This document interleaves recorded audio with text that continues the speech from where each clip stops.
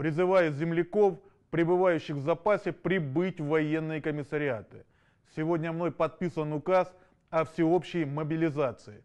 Обращаюсь ко всем мужчинам республики, способным держать в руках оружие.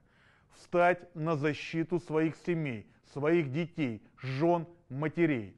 Совместными усилиями мы добьемся желанной и необходимой нам всем победы. Мы защитим Донбасс и всех русских людей.